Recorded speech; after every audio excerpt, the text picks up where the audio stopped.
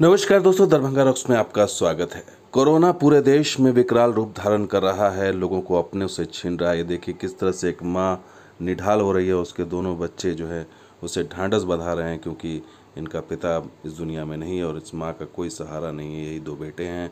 ये तस्वीर दिखाई देती है पूरे देश में तमाम जगहों पर और बिहार भी इससे छूता नहीं है। बिहार में भी लगातार तेज़ी से लोग आ रहे हैं। प्रवासी मजदूर लोग बाहर से आ रहे हैं।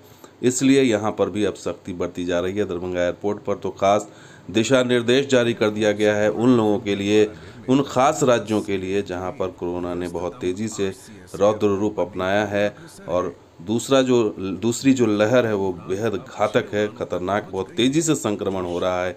इस वजह से दरभंगा एयरपोर्ट पर जो है खास करके महाराष्ट्र, केरल, पंजाब के लिए तीन राज्यों से आने वालों के लिए अब निगेटिव रिपोर्ट लाना अनिवार्य कर दिया गया है, यानी आरटीपीसीआर रिपोर्ट लेके आना। हालाँकि चुनौती है कि आरटीपीसीआर रिपोर्ट में भी अब ये वायरस नज़र नहीं आ रहा है, ये भी एक बहुत बड़ी चुनौती है, लेकिन फिर भी एक खास गाइडलाइन दरभंगा एयरपोर्ट की तरफ़ से जारी की गई है और ये कहा गया है कि महाराष्ट्र, पंजाब और केरल से आने वाले सभी यात्रियों को तत्काल प्रभाव से यात्रा प्रारंभ करने के बहत्तर घंटे पहले तक के negative corona covid nineteen R T report साथ लाना होगा, तभी उनको यात्रा की अनुमति दी जाएगी। तो ये साफ़ साफ़ दिशा निर्देश दे दिया गया है और स्थानीय प्रशासन का ये दिशा निर्देश है, यानी कि बिहार सरकार का ये निर्देश है।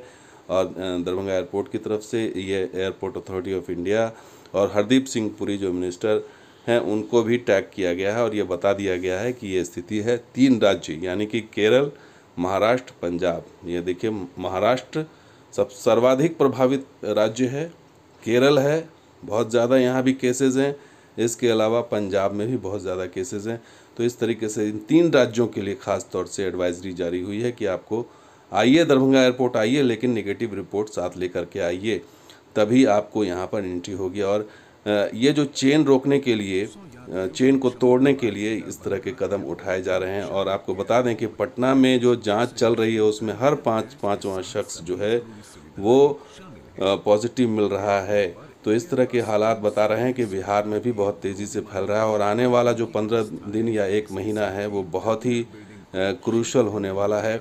और उसी में ये देखना होगा कि ये वायरस जो फैला है, दूसरी लहर जो आई है, ये कौन सा रूप अपनाता है। तो फ़िलहाल मिथिला और उत्तर बिहार के अलावा पूरे बिहार में इसको लेकर के नज़र बनाए हुए अधिकारी और देखना होगा कि आने वाले दिनों में क्या और कदम उठाए जाते हैं। तो फ़िलहाल जो स्थिति है उसके अनुसार यही कदम उठाए गए हैं कि आर टी रिपोर्ट लानी होगी।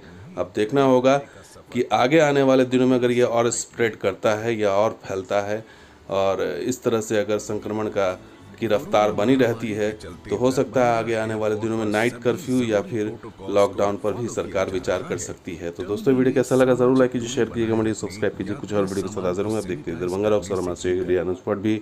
शुक्रिया, धन्यवाद। जय हिंद।